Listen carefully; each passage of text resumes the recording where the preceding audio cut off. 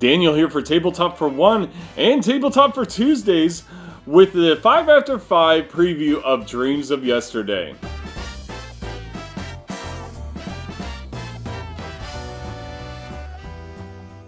Now, Dreams of Yesterday is published by Weird Giraffe Games and is currently on BackerKit right now. I advise you just go ahead and stop the video, go check out the BackerKit. I have the link in my description and see if it's a game that you want to back. It's only about $9, but it it's definitely something to look at as a small box carry in your pocket kind of game. And now Dreams of Yesterday is a set collection game as you're trying to build out your exhibit and compete for the best looking exhibit, collecting sets of different artifacts and fossils and portraits and other things, and competing out for the, the different cards in this really neat little rondel drafting mechanism. And so after five plays, I have five things for you to consider when backing this game. First, let's talk about the gameplay. The gameplay in Dreams of Yesterday is very quick. On each turn, you're choosing one of two cards on the field in, in the area called the Histories, and you're going to choose in a clockwise order between those cards. And so from the empty space in the history, you're going to go one or two spaces and choose the card that you want to add to your tableau. If it's an artifact card, you got to pay for it with resources. If it's a resource card, you just add it to your storehouse. And then you're going to draw one card from the deck and add it to the histories, choosing which side you want the card to be on. It adds for this really interesting element of, of deciding how to place the card. Maybe it's a card you want later, and so you place it that face up in hopes that you'll gain it, but you also want to watch out for the opponent. The opponent might pick up a card you'd like. And so there's some really interesting decision making there. And with that, let's talk about the AI opponent. Now, the AI opponent follows a couple priority charts. It's going to choose its action based off of how many resource cards it has at that time. If it has a certain amount of resource cards, it'll buy an artifact. If it has one or two resource cards, it's going to go based off of what the top card is on the deck, and then it's going to choose its action that way. It also has a priority when placing it out on its tableau, when uh, replacing a card on the histories track. But all in all, after a couple games, it's really easy to implement and doesn't take much memorization. And so for number three, let's talk about the value. This is a very inexpensive game. I mean, granted, it's only a few cards, but we're talking about, you know, the, the cost of like a Button Shy game. And it comes in this nice little wallet size case. Now, the case is supposed to be a little bit larger, when uh, when they produce it, but it's supposed to be very similar. And this case is just slightly smaller than my wallet. It's something that I can easily carry around and have available wherever I go.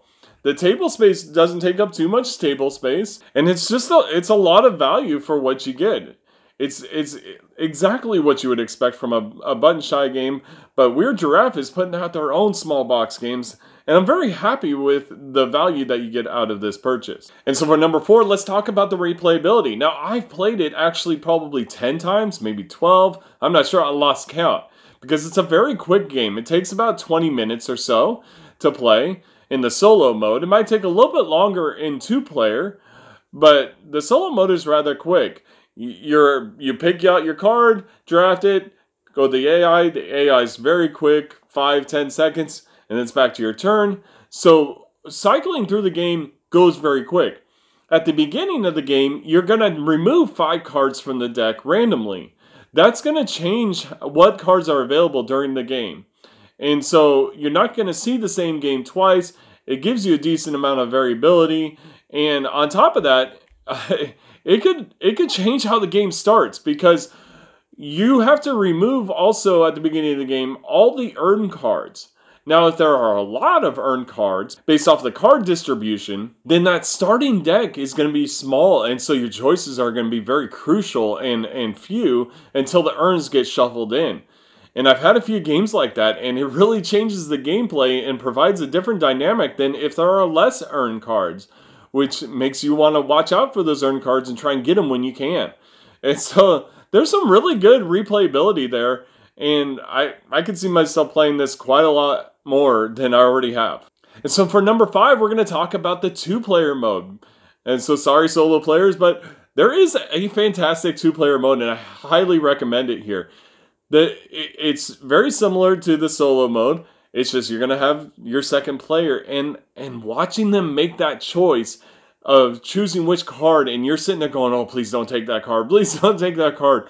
Seeing how they build out their tableau and trying to counter them as you work around this rondel, it's a it's a very very head-to-head game, and and it's it can be uh, you can block each other really well. It could be a little little bit of a fight uh, for those cards, but it, it's fantastic. It, it, provides a great experience in the two player, and I highly recommend it as a two player game, even if you don't play it as a solo game. I very much like this game. I, I think there is a lot of value here. I plan on replaying it, assuming I get to keep this copy. I don't know yet. But I think the game has a lot to offer.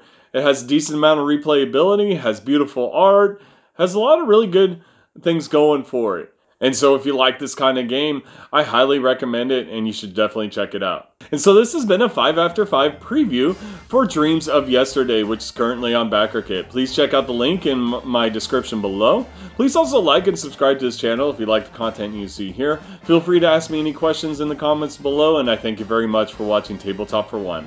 Have a great night.